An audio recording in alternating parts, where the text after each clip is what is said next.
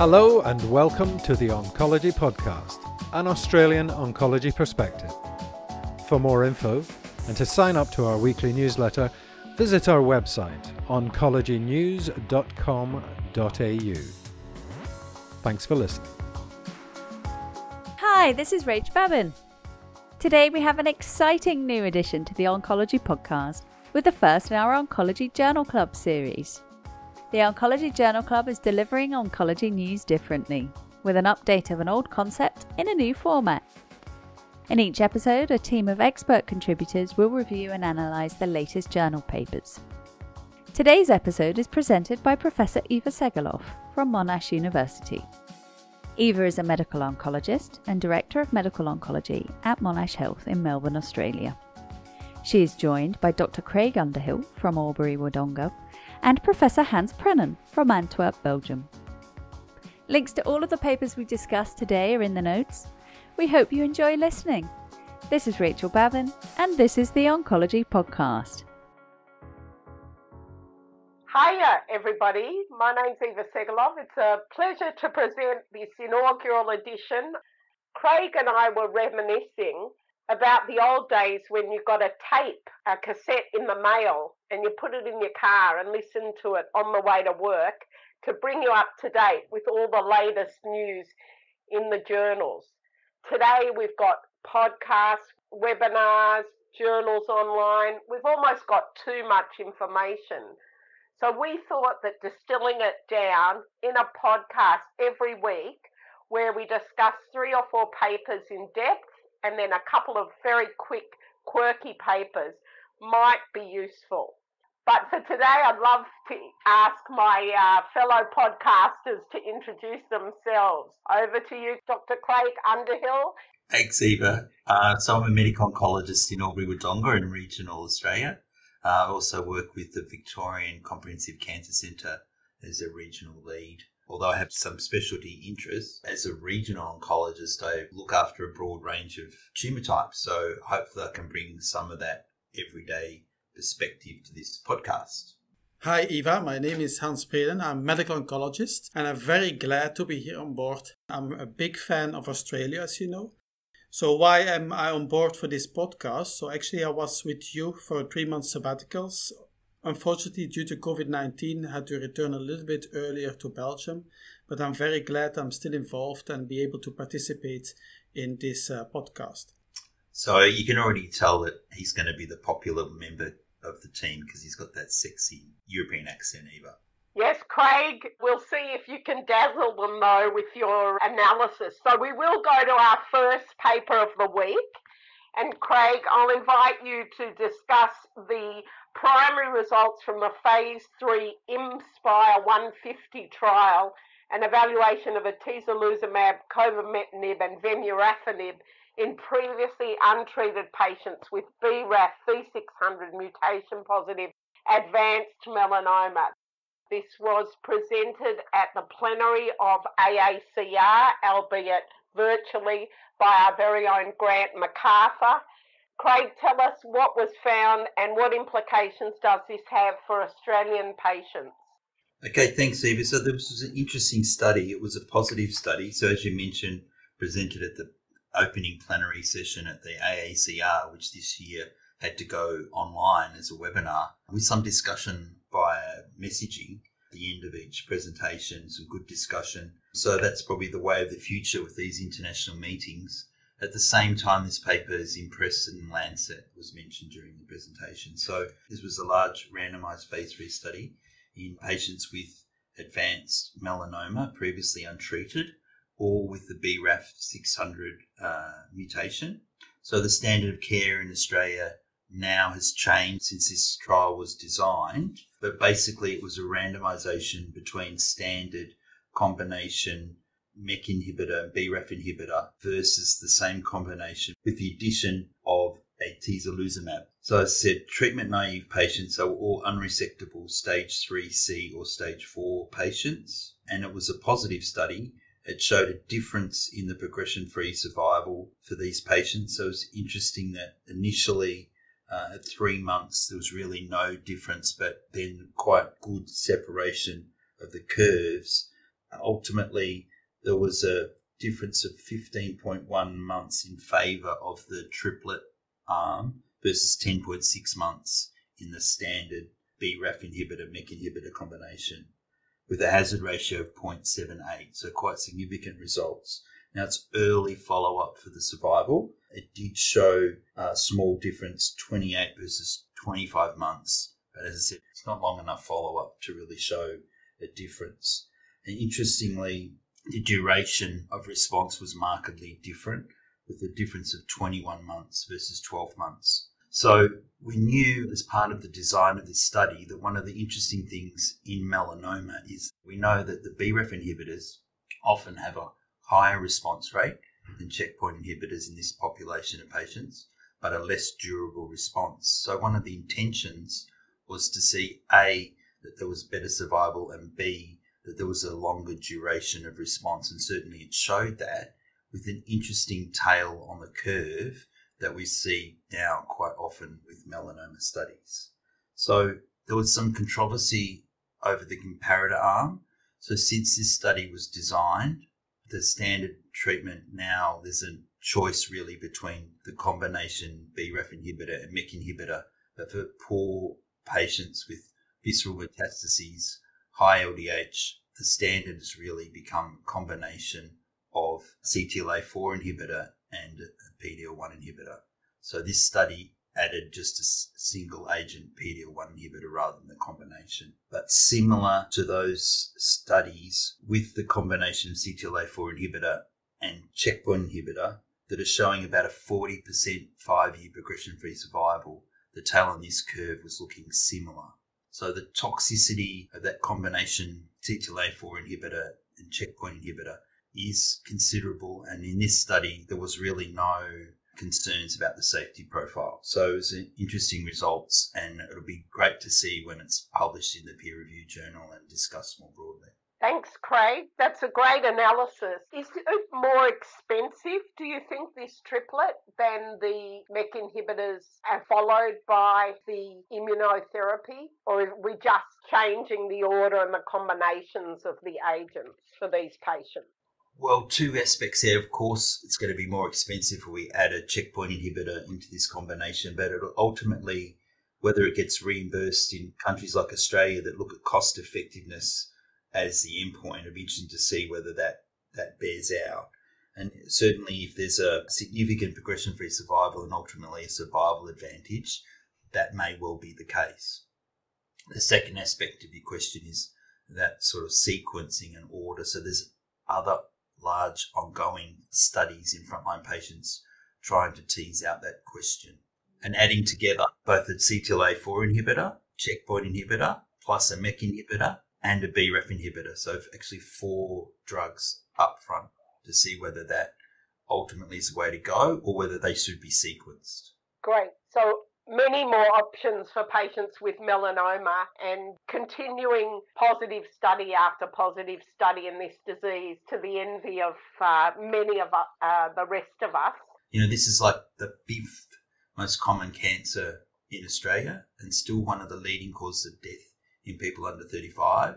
So it's fantastic that we do have these options and treatments that are making a difference in survival which leads me actually to the next paper, which was a positive study in GI cancer with immunotherapy that we haven't uh, seen too much of recently. So, Hans, we are all looking forward to the ASCO plenary keynote 177, but we have got the paper now on neoadjuvant pembrolizumab in colorectal cancer with some quite stunning results published in Nature Medicine in April. Yes, Eva, indeed. I think it's a very interesting study, recently published, beginning of April in Nature, as you stated, by the group of the Netherlands, by the Netherlands Cancer Institute. And the first author of this paper is Myriam Chalabi. And uh, we know that immune therapy or checkpoint inhibition in general is highly active in deficient mismatch repair metastatic colon cancer, so in patients with MSI high tumors. We also know in the ones which are MSS with proficient mismatch repair genes that it has almost no activity. So why is this study so interesting? Because they included actually both patients with proficient mismatch repair genes as well as deficient mismatch repair genes. So the study is called the NICHE study. And what they wanted to do is to give neoadjuvant immune therapy, a combination of anti-PD-1 and anti-CTLA-4 in patients with stage 1, 2, 3 colon cancer. So what was the theory behind this? You could say, okay, why do patients respond to tumors with uh, proficient mismatch repair genes?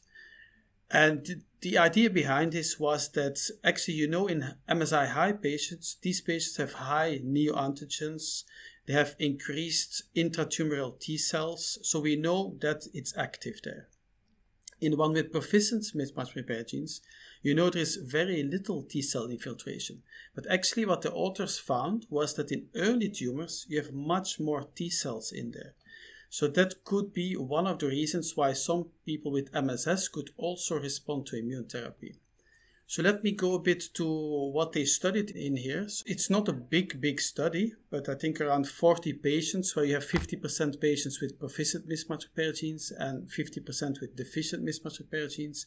And they were treated with ipilimumab, a single dose, and then two doses of nivolumab. The goal was to keep the knee neoadjuvant period quite short. So why? Because you don't want to delay surgery. So the time between signing informed consent and surgery was about, let's say, maximum six weeks. So there's no delay for the patients. The results were extremely striking. So what they found was that in all patients, so 20 out of 20 patients, there was a pathological response in the MSI high group you can say it's not a surprise. For me, it is a surprise because this is not the case in the metastatic setting. We don't see 100% response, but there it was 100% pathologic response with 19 out of 20 with major pathological response. And this is defined as maximum 10% residual viable tumors. You could say what is even more striking that in the group with proficient mismatch repair genes, so the one with MSS, there you also see that one out of four responds to the combination immune therapy. And they, of course, looked uh, in a translational way at what the reason was. And what they found is that CD8 positive, PD1 positive T cells infiltration, that this was predictive.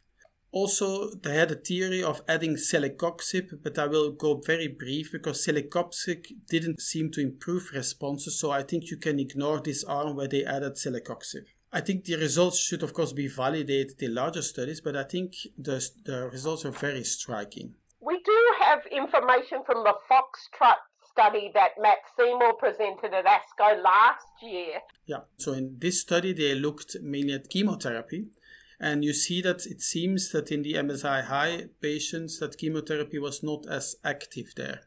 Of course, the Foxtrot is a very, very large study in a, in a lot of uh, patients, but looked at chemotherapy. So I think what this study shows is that you should maybe, but it has to be validated, look into uh, the tumor biopsy of the patients, look at T cell infiltration, and maybe give these patients immune therapy.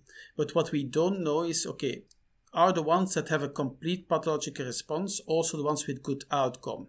And I think the Foxtrot showed this, but it has to be validated also in the immune therapy setting. We've always had this issue of whether chemotherapy wipes out the immune response that protects these tumours. So, could that be a possible explanation? I think it is. I think there are lots of uh, explanations, and it's a very heterogeneous group. This were also it can also depend on the stage of the tumor. Uh, we know that maybe earlier stages have maybe less tumor burden, still less uh, immune suppression. So I think there are a lot of variables that could uh, lead to these results. But I'm looking forward actually to the study that will be presented at ASCO, which is called the Keynote 177. And it's a randomized study, phase 3, of pembrolizumab versus chemo in the first line metastatic setting. So the chemo arms are either Folfox, Folfiri, or a combination with anti-EGFR, anti-VEGF. And then I hope we will know whether first line pembrolizumab might be better in MSI high patients in a metastatic setting or not. But this is something we will know in, let's say, two weeks. So, Hans, this is the second exciting neoadjuvant uh, study for colon cancer uh, in a very short period of time before patients with resectable cancers go to surgery. We've now got some benefit from chemotherapy shown in the Foxtrot study presented at ASCO last year, and now with this study in immunotherapy. So, do you see this as the future for operable colon cancer, some form of neoadjuvant therapy? For me, after Foxtrot, I had the feeling that this neoadjuvant chemo is a very good strategy, especially in large tumors. Uh, what we see in this study with immune therapy is that in both patients with MSI high and MSS, there is some activity, but the activity in MSI high is really striking. While you saw in Foxtrot in the MSI high patients, chemotherapy is not as active there. So I think in these patients, we should consider to give neoadjuvant immune therapy. But of course, larger studies are needed. But I'm really in favor of giving more neoadjuvant treatment in colon cancer in the future. And of course, the corollary will be less adjuvant therapy, and we'll all be happy to, to give less adjuvant therapy. I fully agree with that. Okay, great. So thank you very much for that update. The next paper that we are going to talk about is another tumour where immunotherapy has been extensively investigated and now with some pretty definitive results. So this is results of the paper presented in the plenary at AACR looking at immunotherapy in prostate cancer. Craig. Thanks, Eva. So we've just talked about two positive immunotherapy studies, and unfortunately, this was a clearly negative study in advanced patients with metastatic castrate-resistant prostate cancer. So this is a phase three study comparing enzalutamide versus the combination of enzalutamide and atezolizumab. It was a huge study with 759 patients, so really powered to show big differences in response rate, progression free survival, overall survival. And unfortunately, it failed to do any of that with really no difference seen. So it was disappointing. There was some preclinical rationale for combining hormone receptor antagonists with the checkpoint inhibitor. And we've seen in the past with castrate refractory prostate cancer the success of uh, T, which is immunotherapy in another form for prostate cancer. There'd been a previous phase two study in a small number of patients with a single agent atezolizumab in this population, which had shown a very good response rate, good duration of uh, response and survival. So it was a little bit disappointing to see really no difference. But on the other hand, perhaps not that surprising because we know that prostate cancer is, is basically a cold tumor in terms of the immune environment, the microenvironment. We know there's a low mutational burden and we know there's an absence of T cells. So, in some ways, probably not a surprising result. There was some uh, good discussion about uh, where to from here and what the implications might be for more studies in prostate cancer because of the clearly negative results of this study. And there was some discussion about maybe there need to be use of combination checkpoint inhibitor and CTLA4 inhibitor again, or some other biomarkers, and that really these drugs now should probably go into the neoadjuvant setting with some biomarker driven studies to try and sort out which subgroups might respond. So we know late in prostate cancer, many uh, men develop neuroendocrine differentiation in their prostate cancer. So maybe that's a subpopulation that needs to be focused on, or there's some other biomarkers that would predict a response to the checkpoint inhibitor. Because in this study, there was no signals. There was no in all the subgroups. It was a negative study. The um, PD-L1 level in the tumor didn't predict response, etc. So it's really rather than jumping into phase three studies, it's really back to the drawing board in prostate cancer. Thanks, Craig. So the prostate docs don't need to learn to pronounce atezolizumab, at least for the moment. But There'll be some great data coming up for prostate cancer at ASCO, including some of our own Melbourne homegrown PSMA great breakthrough data. So watch this space.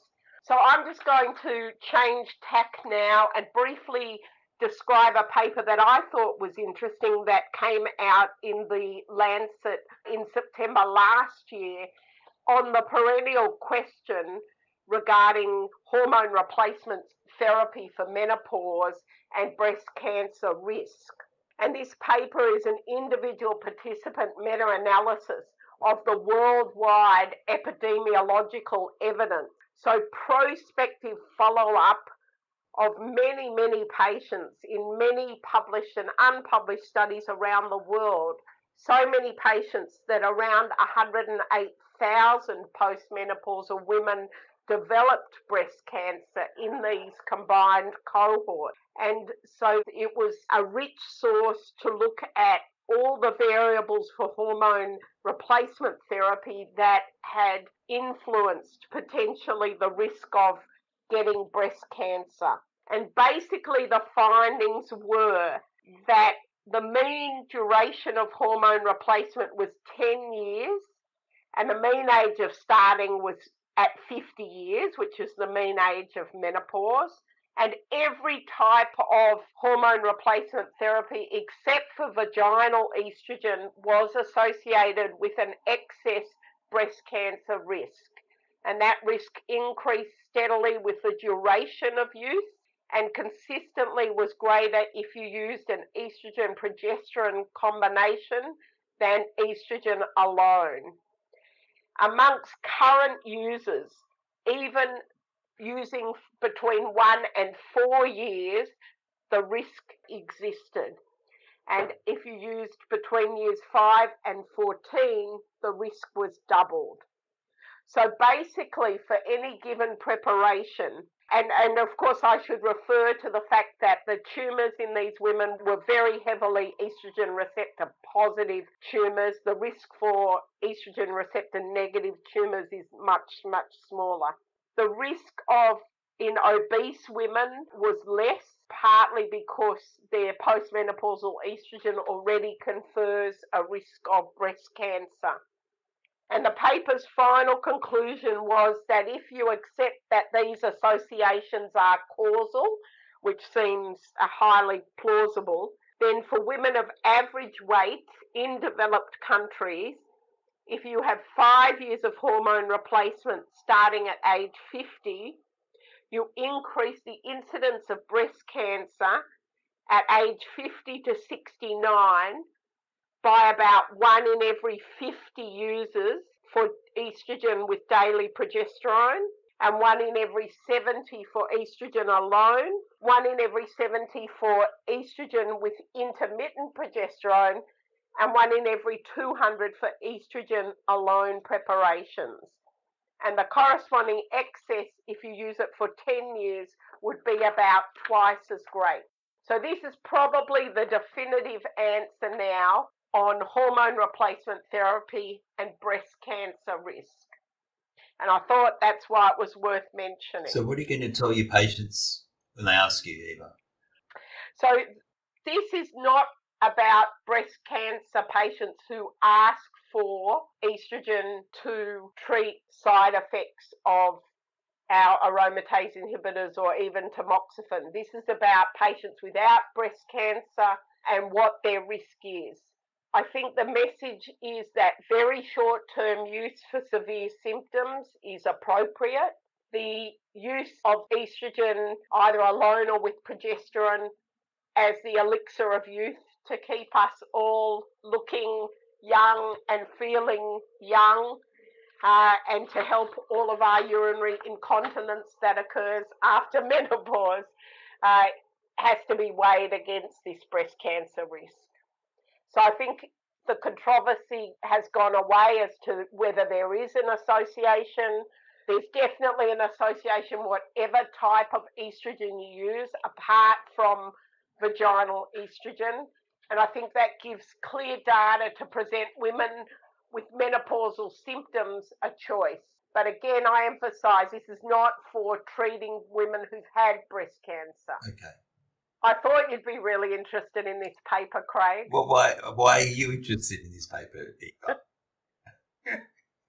Every woman is interested in this paper, Craig. Happy birthday, Eva. Sometimes you've got to learn uh, from oncology things that uh, relate to normal life. Rightio. We're going to move to a couple of quick bites. I'm going to get you to talk for one minute, if it's possible, Dr. Underhill, on the following paper entitled Answering the Question About Flu Vaccination and Immunotherapy. Your time starts now. So, with the advent of immunotherapy in everyday practice, people have been concerned about safety of flu vaccine, and we probably get asked that every day in the lead up to the flu season. And the answer is, and there's been some concern that it might enhance immune response and immune related adverse events. But it's basically uh, there's not, not a lot of evidence uh, for that, so it looks to be safe to give, as it is to give chemotherapy, although people on chemotherapy might have an attenuated response to the vaccine. But feel free to give your patients on immunotherapy the flu vaccine. Great, thank you very much. I'm going to quickly discuss another paper that relates to my life, Craig, the randomized trial of text messaging to reduce early discontinuation of adjuvant aromatase inhibitor therapy in women with early breast cancer. The bit that relates to me is the text messaging, just in case you were confused there. So this was SWOG S1105, and what they did is we know that about 50% of women stop their aromatase inhibitors, usually around about three years into their five years of therapy, let alone 10 years of therapy. We never really want to consider this. We every breast cancer doctor I know says all of their patients take all of their adjuvant hormone therapy all of the time. But there is some evidence from other chronic illness that text messaging makes a difference. They sent text messages twice a week, different days of the week, the weekend, different messages, and it didn't make any difference. They actually measured the patient's urine to test for uh, the aromatase inhibitor, and interestingly, there was a disparity between the urine results and the patients who said that they took their aromatase inhibitor. So it's a no for text messaging to try and help improve compliance with aromatase inhibitors. It's a shame because it really is a big problem in real life practice. Was it stratified for WhatsApp versus Facebook Messenger or? No, they were all text messages. So I, it was it may have been stratified for which emoji you sent with uh, with the message. Okay, Hans. we're going on to opportunity costs. So you mentioned you were here on sabbatical with me. I think the opportunity cost of you attending the hospital was very high or low, whichever one means you were. I didn't really see you very often. Yeah, you should do a study about that. My opportunity costs in uh, Australia. okay, so this is a, a really interesting paper, I think, looking at the opportunity costs of receiving palliative chemotherapy for metastatic pancreatic ductal adenocarcinoma. Yes, Eva. It, it's uh, actually a paper is published in JCO Oncology Practice very recently in March. And I think it's something which is not much studied, and that's why it's so interesting, the paper. You know, in pancreatic cancer, that people are usually not alive anymore after one year when they have metastatic disease. And everybody looks at survival curves and the gain, but not many people study how much time patients spend commuting to the hospital and waiting for care. So that's why this is a very original paper from a group in Philadelphia. And what they did is they looked over a period from January 2011 to January 2019, so actually quite a long time, eight years, all the patients that came to their center. It's a single center study, which is a bit a limitation there. Of course, it's in one specific country. But just to summarize the results, what they found is that these patients, that they spent 10% of their survival time on commuting to the hospital or waiting in the hospital or getting care into the hospital. So I think you have to keep this in mind, uh, specifically in Australia where you have to commute a bit further often, that you spend a lot of time sitting in the car or whatever means that you go to the hospital uh, in the total if you calculate the total time of your survival with metastatic pancreatic cancer I think it's something we can bring into our discussions with patients. So, Hans, are you going to actually mention this 10% opportunity cost when you talk to patients about palliative chemotherapy for pancreatic cancer? I think it's indeed something I might do. It's something I already discussed. Okay, we, the gain of survival is very little. We say that the main reason that we give chemotherapy in pancreatic cancer is the reason that they feel still okay for a certain moment of time. But that now that I've seen this paper, I will also bring up that they spend 10% of their time commuting to the hospital. So it's something you have to keep in mind when patients with metastatic pancreatic cancer treat with chemo. So, Craig, in the rural setting, they might spend even longer commuting. Yeah, that's true. So, I think it brings two important issues in my mind. Is one, the use of telemedicine, if we can, for some of the visits, um, although this is about coming into the centre for the treatment. But the other issues, I mean, this is something that we might say, well, look, that is a really important issue and it's negating the positive benefits of the chemotherapy. But it's it is something important to discuss with the patient because they often value small gains much more than we do. So they might say only ten percent. I'll still take that if I can have that survival gain. So we can pontificate about it, but I think it's something that we really, you know, need to the patients will weigh up in their own mind whether it's worthwhile or not. We can try and reduce that 10% though down through strategies, as you mentioned, like telehealth, like having community treatment centres. That's right. And I think that's something that COVID 19, oh no, it's supposed to be a COVID 19 free podcast, but I said the word. It's something that this pandemic has brought to the fore for all of us about the way we practice care. Yeah, absolutely. We all need to take some of the positive things out of the ch- changes in the models of care that we've made in the COVID 19 era. So that's twice we've used that word. But we need to take those positive changes and embed some of those positive things going forward.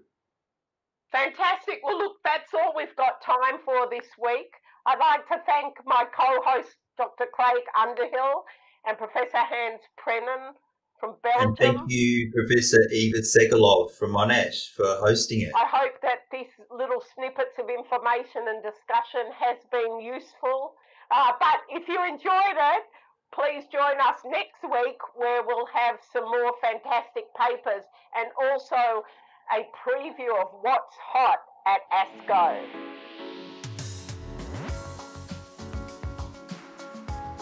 You've been listening to the Oncology Podcast. If you enjoyed today's edition and would like to subscribe, head over to our website, oncologynews.com.au, and sign up to our newsletter. Thanks for listening.